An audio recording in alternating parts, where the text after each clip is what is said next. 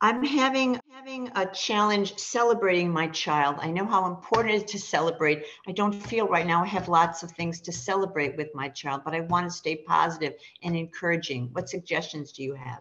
I think just cele- celebrating that they're moving through whatever challenges they're having. Mm-hmm. You know, I, I really do. Mm-hmm. You know, this idea of being able to look and affirm something you know this child has a strong personality. That means you've got some leadership skills that may come in. You've got to mm-hmm. be able to reframe. That's called a counter narrative. So whatever the narrative is like ah that thing you do is really important. My son had this fire in him that you know teach i'd get the call. I'm like and i had to tell them i said you know as irritating as this fire is in him i would rather learn help him learn how to tame it than put it out. So mm-hmm. being able to reframe whatever that challenge is, whoever your child is showing up to be, because they may be struggling in a world that may not appreciate that. So you have to help them learn how to appreciate this gift they have. How do you see the gifts that they have? The fact that they're still breathing, they burn nothing down, you know, we're all still standing that is something to celebrate. I would highly recommend Tiny Habits um, by BJ Fogg. And he really talks about this idea of tiny celebrations. When something goes right, however, we got through the morning without yelling, let's do a little dance. Let's have a mm-hmm. dance party. So again, it's not necessarily because they got good grades or they're on the path. It's like you still standing. You are, you know, you are passionate, you have a strong personality, whatever it may be. We have to find that because again, it's not just that they're listening, but we have our emotions are contagious.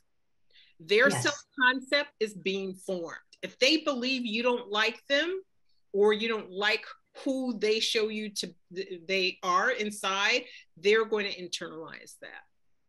Beautiful beautiful. Uh, here's a question about the balance of at one point do i get involved uh, make that phone call to the school? At what point do i let my child uh, take take whatever challenge that is that there's that struggle that they have? Well Where, where's yeah, it depends on what the struggle is because productive struggle is not the same as I'm struggling because I'm behind. So if, let's get real clear. People who are athletes who are top of their game engage in productive struggle. That's what they do at practice. That's what they do in scrimmages. That's very different. That's a positive stretching ourselves to that next level of capacity. Destructive struggle is when I am falling behind and I feel like I'm drowning. Now there's an emotional component, a negative emotional component. So if your child is having an emotional response to feeling behind, confused, uh, and not on top of it, then how are you partnering? Where are they getting confused? If the if it's about the grades is there anxiety around there? And this is where it's so important to talk about learning. Where are you getting it right? When does it stop making sense? So it's not just get your grades up but this is where you have to be a detective. What's mm-hmm. making sense to you? Where do you mm-hmm. feel like it's stopping making sense or where are you mm-hmm. feeling frustrated or anxious? When we can dig into that that's why that relationship becomes so important Mm-hmm. to be able to have that to get underneath something. So the fact is, parents and teachers should be talking when stuff is going good.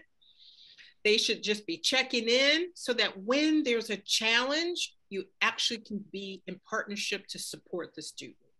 So again, if you're worried about your child, definitely check in with the teacher. Where does he seem to be getting it? Where is he thriving? So we have to ask a wider uh, array of questions, not just uh, what's going wrong, but what's going right.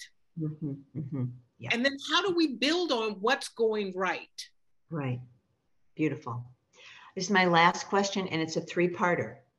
What is the message? If, if you had that elevator speech for the teachers that you speak to, what do you want them to know? I want them to know that they are creating uh, an environment, an ecosystem in the classroom so students can grow their own intelligence, grow themselves as learners. This is not about opening students' head and putting stuff in. This is about cultivating an intellectually safe environment, partnering with parents. We should be meeting up with parents, honoring them as first teachers. I don't mean an assembly. I mean literally, let's just have tea. There's no other uh, uh, thing we're trying to do. We're not talking at you. And then being able to communicate with parents in, in a way that has a partnership, not just when something's going wrong. So I try to help teachers shift the pedagogy of compliance. And we see this when there are low performing students, and too often a disproportionate number of low performing students maybe children of color or immigrant students.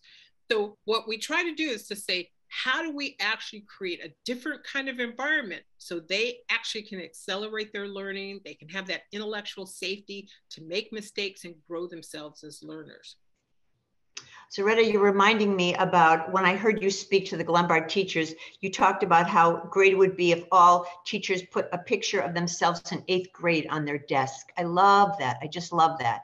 The second part of that question is, um, for the kids who couldn't be here tonight, what, what is the one message you hope that they take away from tonight's talk? I think if we're talking about high school students, that regardless of where you are in your academic journey, um, I really want to encourage them, as I've said before, look beyond the academics, look beyond your academic resume or going to college. Going to college is very important. I do believe that.